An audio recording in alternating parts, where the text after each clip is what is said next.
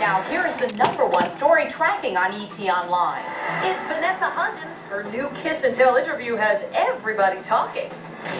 Hey, I'm Vanessa Hudgens, and I wanted to welcome you to my Cosmo Girl shoot.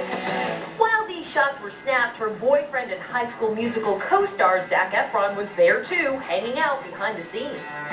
Vanessa Cosmo Girl on stands July 1st, quote, if you really love someone, you shouldn't have to work at it. You finish each other's sentences and have the same sense of humor. The article also says about Vanessa, when she sees Zac, she runs over and they kiss, she rubs his stomach, he puts his arm around her. Vanessa and Zac have been in Utah filming High School Musical 3, but soon he'll be seeing a different side of her in the upcoming film, Rock On. So not me.